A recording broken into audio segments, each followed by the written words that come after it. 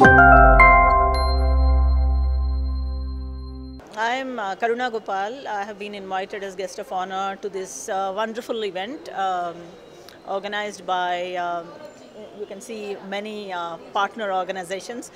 Um, the most exciting part is that uh, there's a bunch of uh, women entrepreneurs who have showcased their products and it's extremely heartening to see women putting in their efforts, trying to um, bring in economic vitality into uh, not only the state but uh, the entire country. Their uh, relevance uh, cannot be um, overstated in the sense that they're so relevant and so important for the economy to grow and grow into uh, and to push usher into India into a, a global power. Now, we were given to understand that if women start working and contributing to the economy, our gross domestic product will grow by 27%, which means that the aspiration of our Honorable Prime Minister to push our economy into a 5 trillion economy or a 10 trillion economy is possible only when women start working as entrepreneurs or as uh, joining the workforce that is when India is going to go and uh, become very uh, economically powerful, let's say. Then um, another important thing I was told, there are a whole bunch of uh, stalls here run by women entrepreneurs. Uh, most of them are to do with wellness. It's to do with nutrition like uh, um, millets, it's like uh, cold pressed oils.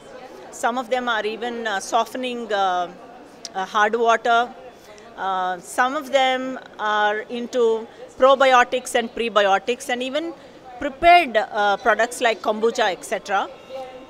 These are exceptional products, and if women manufacture them, they can promote them, women can become healthy.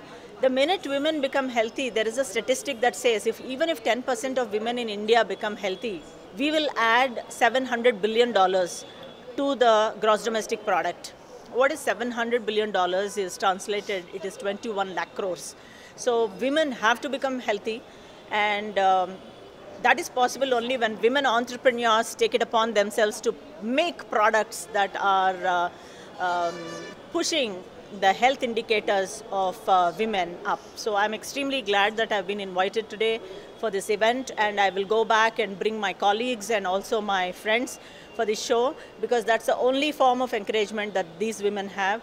And in our Honorable Prime Minister's program, there is um, the, the, he has created an international platform for women to market and brand their products.